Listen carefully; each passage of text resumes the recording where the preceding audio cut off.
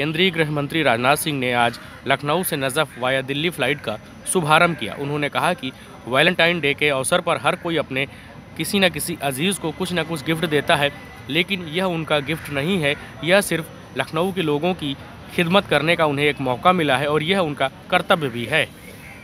Valentine day के दिन आपने देखा होगा, बहुत सारे जो अपने बहुत अज़ीज़ होते हैं, जो बहुत करीबी होते हैं, जिनके साथ दिली रिश्ता रहता है, उनको कुछ ना कुछ गिफ्ट देते हैं। तो मैं इसको यह तो नहीं कहूँगा कि